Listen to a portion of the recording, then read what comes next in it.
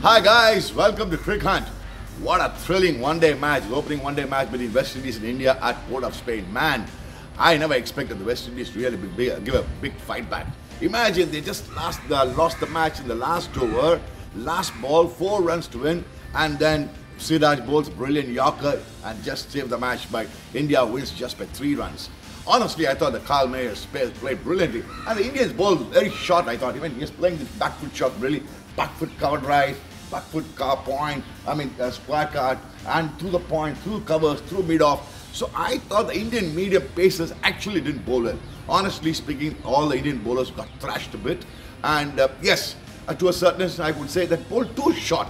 I mean, they didn't bowl to a plan. They didn't cramp the batsman. Surprisingly, all the all the all the bowlers went for runs. Prasidh Krishna beat Prasidh Krishna beat anybody, and of course, surprisingly, the Deepak Hooda, uh, the uh, five overs for 22 runs. I think he saved the game for India, in my opinion.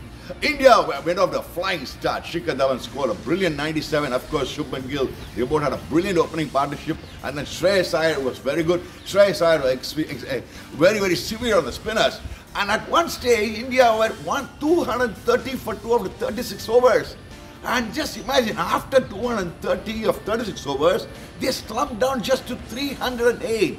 That means the middle order slumped very badly for India, and that's why, in my opinion, India got into this position.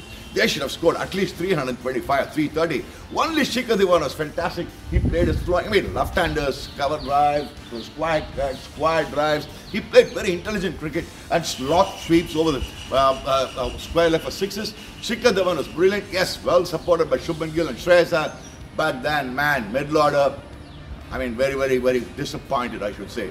The bowlers also didn't, uh, were actually not on the mark. I mean, they were off the mark, I should say. But then sometimes it happens, I guess, in cricket. Sometimes the bowlers are rusty, especially one-day cricket after long. I mean, after break, you're coming back from England, coming to West Indies. But I still believe it's going to be a very interesting series. Well in India, just scrape through. Come on, Shikhar Dhawan, come on, bowlers. Pitch it up, bowl stump to stump. Then you can win matches easily.